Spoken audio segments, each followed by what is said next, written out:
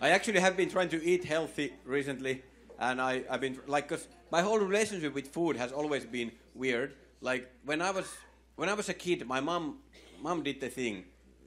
She always did the thing. She said that you have to eat all the food that is on your plate. You have to eat all the food because there is starvation in Africa. and then I ate all, all the food.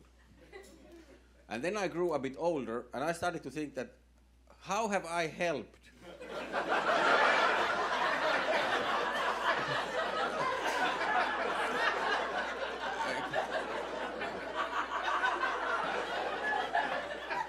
Uh, how have I helped the situation in, um, in Africa? I'm now a little bit overweight. I hope they are happy. I, I have done my best. I, am still expecting a thank you card or something. If I ever go to Africa and they look at my belly, I will say that I did it for you. it's,